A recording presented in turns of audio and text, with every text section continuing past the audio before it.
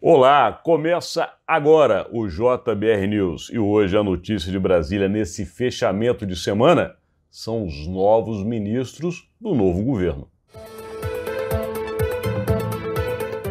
Rodolfo, muita novela, né? Até aqui, muito balão de ensaio, muito nome que foi colocado como certo, mas descartado depois. Agora o fato é, hoje de fato o novo presidente, ou o presidente eleito, melhor dizendo, anuncia parte do seu ministério. O que, que vem por aí, Rodolfo? É, pois é, então, ele, ele realmente fez muito isso, né? Balão de saio, sentir ali o clima, né? É, fa, né? Fa, falar, dar algumas antecipadas para ver as reações, e aí, enfim, parece que amadureceu alguma, algumas coisas e resolveu, então, é, fazer alguns anúncios hoje. É, então, assim, um, o nome mais importante dessa primeira leva, ou os nomes mais importantes dessa primeira leva, são o ministro da Defesa. Que, aliás, temos que fazer um registro. Este conteúdo deu em primeira mão, antes de toda a mídia nacional, que seria justamente. José Múcio Monteiro.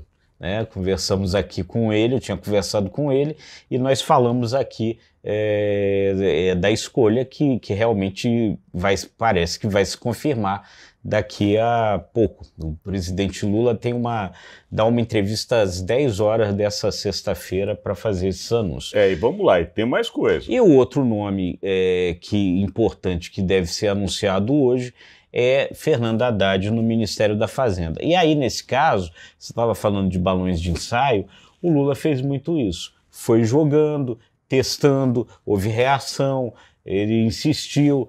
É, e aí as informações é que hoje, lá na famosa Faria Lima, o nome do Fernando Haddad já estaria, como eles gostam de dizer, precificado. Quer dizer, hoje já não é mais uma surpresa que ele provavelmente vai ser anunciado ministro da Fazenda. Aí, para compensar isso, mas não deve sair hoje, um nome mais técnico no planejamento. É, essa história do Haddad, inclusive, vale a pena a gente só fazer um adendo para que você que está do outro lado entenda um pouco melhor. Ele, de fato, é o cara do Lula. O Lula é o ministro da Fazenda, não é o Haddad.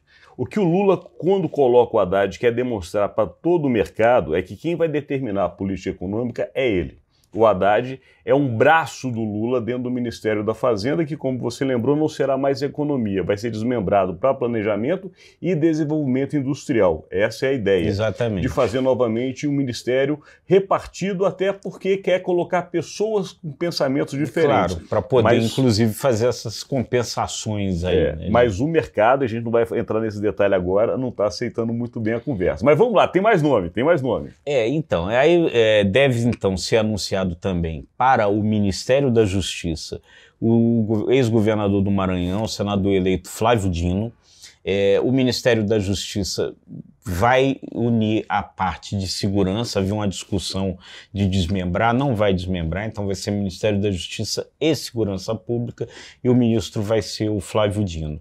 Ele ainda vai, deve anunciar também o embaixador Mauro Vieira, que já foi, que foi ministro das Relações Exteriores no governo Dilma, para o Ministério das Relações Exteriores. É, é, enfim, os nomes principais são esses. Pode haver outra, outros anúncios. Tem a história de Rui Costa, ex-governador ah, da Bahia, sim, Rui que é Costa ministro da Casa, Casa Civil. Civil. É. Né? Temos também as possibilidades, essas não devem ser anunciadas hoje, mas já está se falando em Brasília, em especial nos bastidores, que já teria nome para o Ministério de Meio Ambiente, que é Marina Silva, já teria também para a parte de desenvolvimento social, que é justamente quem apoiou o Lula. Simone Tebet. Simone Tebet. Tem uma conversa de que Celso Amorim, ex-chanceler do Brasil, justamente no governo de Luiz Inácio Lula da Silva, voltaria, mas para um cargo estratégico, a famosa Secretaria de Assuntos Estratégicos da Presidência. E, e, no caso do desenvolvimento social, isso é uma coisa que a gente, inclusive, também já falou aqui, vamos confirmar para ver se de fato né, isso vai acontecer.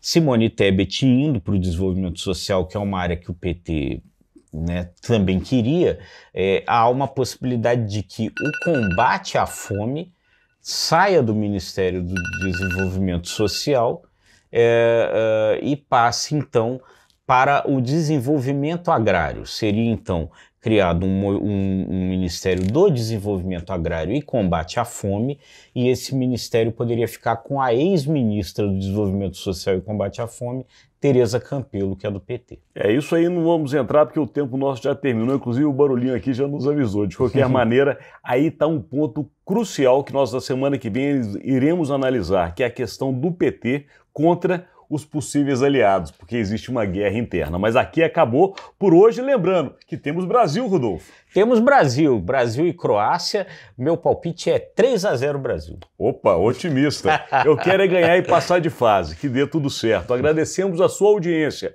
Nós, imagem e credibilidade. Agradecemos também o nosso grande parceiro, o Jornal de Brasília, que, como homenageamos nessa semana, está completando 50 anos de história na capital federal.